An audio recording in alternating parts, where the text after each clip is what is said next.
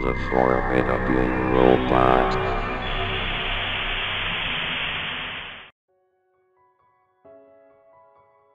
In 1995, I was a newly hired intern at Nickelodeon Animation Studios. I got the chance to work very closely with Joe Murray, who was the creator of one of my favorite cartoons, Rocko's Modern Life. When I found out that I would be viewing the new episodes before they were aired, of course I was ecstatic.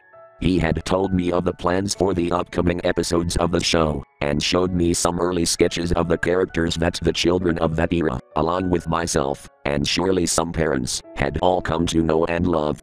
The first few episodes I had screened were great, and I always bragged to my friends, who were also fans of the show. But then one day, things seemed a bit off.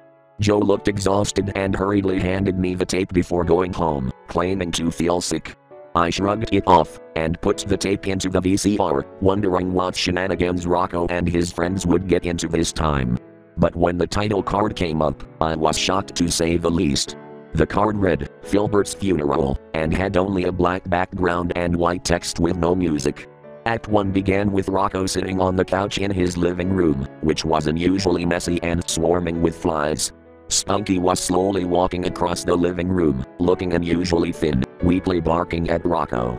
There was no sound but a soft static noise, and instead of the usual perky pastel colors, the overly vivid hues bled into each other, giving everything a morbid, chaotic look. The silence continued until the episode was about a minute in, but was broken when the phone rang in a distorted tone. Hello?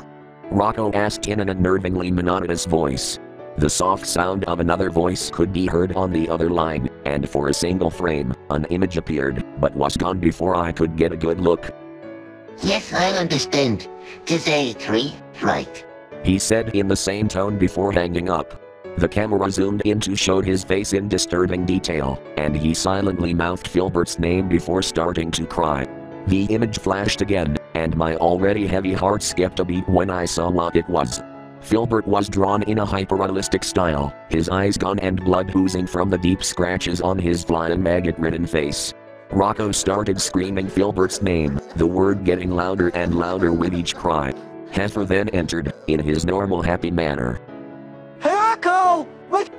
His sentence ended abruptly, and he looked at Rocko for maybe 30 seconds in silence, then directly at the camera for the next 30.